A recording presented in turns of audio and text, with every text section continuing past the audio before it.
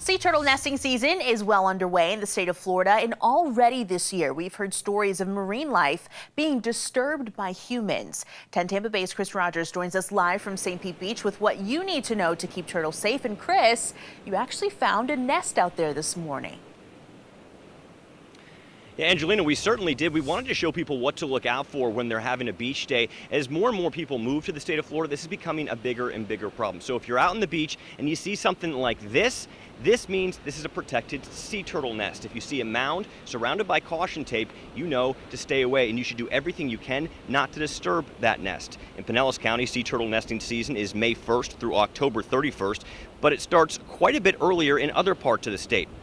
In recent years, sea turtles have faced quite a few challenges while laying their eggs. Experts say a recent TikTok challenge showing people digging huge holes on the beach posed a huge danger, among other things. In Pinellas County, the influx of people also means light has been a real problem.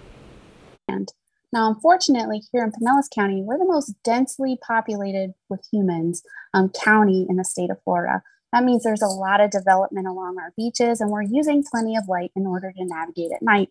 Um, and unfortunately, that artificial light um, competes with the celestial light and oftentimes outcompetes celestial light. Now, Angelina, if you are out on the beach during the day, your best bet is if you see a sea turtle nest, steer clear.